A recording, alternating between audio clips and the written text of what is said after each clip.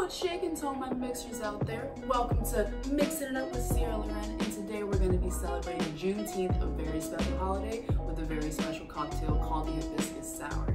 Now, before we get into how we make this lovely, delicious cocktail, first I want to go over a few facts about Juneteenth because I think it's important that we actually understand why we are celebrating this instead of just going with the flow. Am I right? I thought so. So, even though the Emancipation Proclamation 1863, it wasn't until on June 19, 1865, that the last stubborn Confederate state, Texas, had was forced, actually forced to announce the freedom of all slaves. Yeah, that's right. It took two whole years. In celebration of our newly found Freedom Day, we use the color red to signify the blood of our ancestors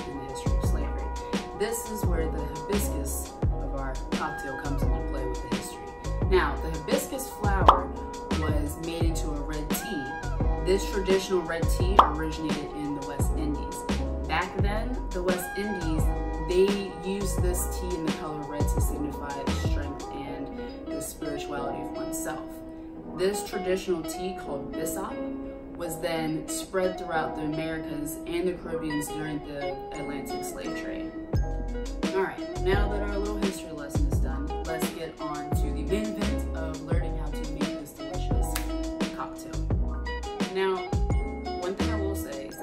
consuming part, time consuming part of this cocktail is how to make the honey hibiscus simple syrup.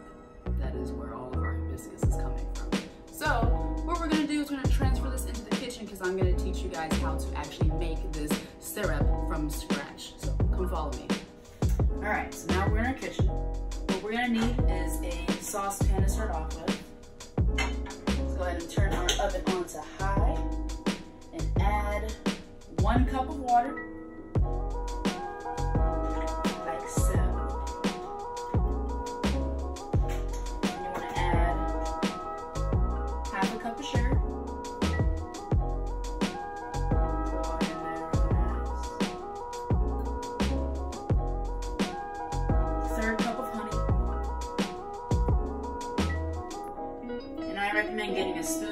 in order to get all the honey out. Don't want no stragglers. No men left behind on my watch. Alright, let's these together real nice.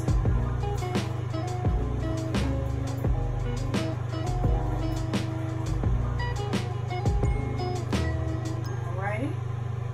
Last but certainly not least, the most important ingredient is our organic hibiscus tea bags. You can find these tea bags in any grocery store. Doesn't matter. I got these from Safeway, I believe. Yeah, it's about like five dollars or something. Not too expensive. All right, we want two tea bags. No more, no less. Make sure you take off the paper part. You don't want that to get all soggy in our mix. plop that in there. It's okay for the shrimp to be in there that's not,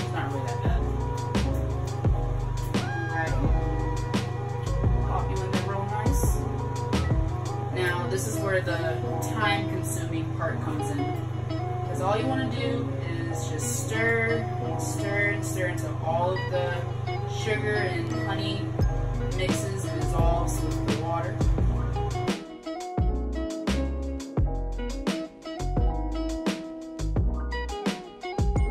You do that. Now you want to go ahead and cover the pan while it's still technically brewing with either a pan cover or some foil. I'm gonna use some foil today. Move it off the eye and then you go ahead and cover it up and let it sleep for about five minutes or so. So we're gonna go ahead and set our timer. Set the timer for five minutes Just gonna let that sit. Alright, so since we have five more minutes to have to wait, this will be your time to put on some music and do a little dancing, you know what I mean? And just have some fun while you wait. Can I be getting fucked up? Don't take a sip, it's time to get lit. At least I got some trees so I can roll me a split. Drop me a tap, get some bags of the sniff. I insist, I'll assist. Let's get lit in this bitch. Cause It's my birthday, I get high if I want to. I'ma get lit, I'ma get lit, I'ma get lit, I'ma get lit. Since we already have this concoction cooled down in the other room, let's go ahead and take it on to the other room so we can make it the whole cocktail since this portion is now complete. Let's go back. Time for the easy part. Time to make this cocktail a reality. So, our base liquor is going to be a whiskey. Jack Daniels is my choice because, fun fact, Jack Daniels is a white man that even though he was the face of the company and he owned the distillery, he himself did not know how to make the whiskey. He was taught by a black man named Nearest Green, which I believe he was a slave when back when he was when he officially taught Jack Daniels. Yeah, I wanna I wanna go off on that. So that is why we are using Jack Daniels instead of any other type of whiskey for our Juneteenth cocktail. Recognition to where it is deserved. All right, so we are first going to put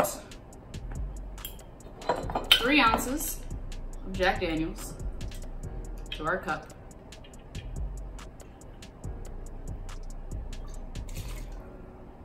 Here we are. All right, then we're gonna use 1.5 of our honey hibiscus simple syrup. Just let you guys know, you can also use this syrup in any type of un- unalcoholic beverage. Like if you just want to mix this with some tea or some lemonade or any other type of juices, it will taste delicious, guaranteed. Last but certainly not least, we're gonna put one ounce of our fresh lemon juice into the mix.